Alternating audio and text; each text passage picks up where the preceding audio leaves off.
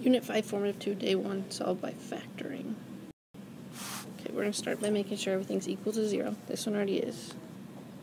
So then we're going to look and we're going to just factor this. So x to the second, so we have x and x. a times c is 4. We figure out 1 times 4 multiplies to 4 and adds to 5. So we put our plus 1 plus 4 still equal to 0. The only difference is now that we're solving, we're going to set, since it has to equal 0, we're going to set each set of parentheses equal to 0. So on this one to solve, we're going to subtract 1 from each side and get x equals negative 1. Over here, subtract 4 from both sides and get x equals negative 4. Okay, so factor the same way after you get it equal to 0, and then set each set of parentheses equal to 0 and solve. So like on number 2, okay, we don't have a c term, right? Remember ax to the second plus bx plus c? We're missing just the number. So we look at these and we say, okay, what do they have in common? Well, they both have an x. We're going to take an x out. If I divide an x out, I get 3x plus 13 equals 0. Okay? And then now there's nothing more we can do because there's no more x squared. So we set everything equal to 0. So you get x equals 0. And 3x plus 13 equals 0. Now this one's already done, so that's an answer. Over here we subtract 13. So we get 3x equals negative 13. Divide by 3. So you get x equals negative 13 over 3. You don't need to do a decimal. Okay, you can leave it just as a fraction. Simplify if you can. Number 3, it's not equal to 0 yet, so to make it equal to 0 we would need to subtract 7x from both sides. Remember, we want to keep it in order of the ax to the second plus bx plus c. So we'd have 2x to the second minus 7x minus 30. Now it equals 0. Okay, so it has to be equal to 0 before you start.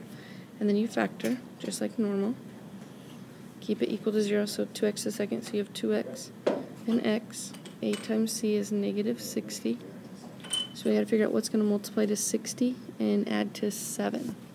So you have 1 and 60, 2 and 30, 3 and 20, 4 and 15, 5 and 12. There you go. So it's going to be 5 minus 12.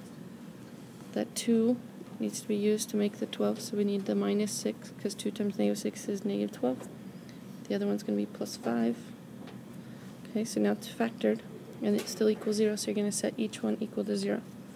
So you have 2x plus 5 equals 0, and x minus 6 equals 0 subtract 5. So you have 2x equals negative 5. Divide by 2. You get x equals negative 5 over 2. And then on the other side, you just have to add 6. So x equals 6. So you should get at least two answers every time. Okay, if it's a fraction, that's fine. Last one, again, it's still not equal to 0. So to make it equal to 0, we would need to subtract the 3x and add the 2. So over here you have x squared still. But you need to, oops, sorry.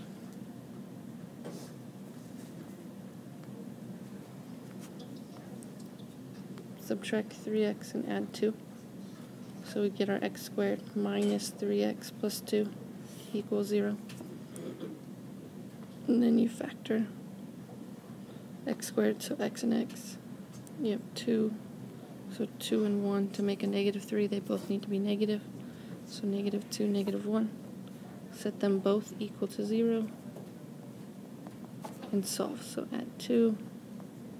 So x equals 2. Add 1. So x equals 1. Okay, so that's factoring and solving. Factoring the exact same way. Just make sure it's equal to 0 and then set everything equal to 0 at the end and solve.